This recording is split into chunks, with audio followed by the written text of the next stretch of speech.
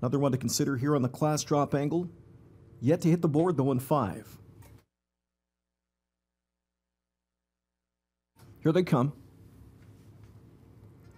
And pacing World away, first away from the outside, leaving out fast down the center with him as Winning Dream.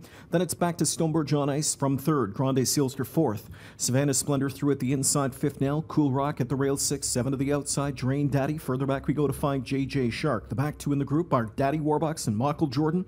As they march by the quarter pole, they will chase World away. World Away put up on the engine, leads the field by that opening marker in 27 and 2 fifths. Winning Dream pocket sits. Back there third is Stonebridge on ice. Grande Sealster brought to the outside, and he's brought to the outside with authority. Here comes Grande Sealster with a backstretch brush attempt for Filion. Comes up after World Away on the way to the midway point. Winning Dream is a hard held third in that pocket position for Jamieson, who points him to the outside and says, Go! Grande Sealster takes over the lead, but he'll come under immediate pressure as Winning Dream is on the outside, 55 and 1 the first half. Back to third is World Away, Stonebridge on ice from in fourth now, and a gap of three more lengths back, Savannah Splendor from in fifth.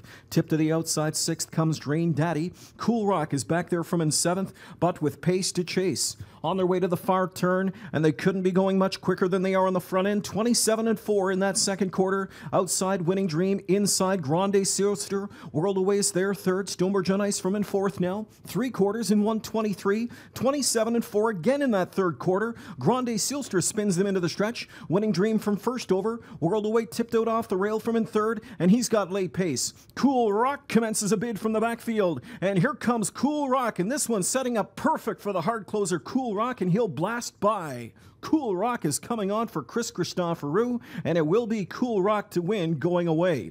Up for second, Daddy Warbucks, tight for show. Michael Jordan got up for that show spot over World Away in 152 and 3.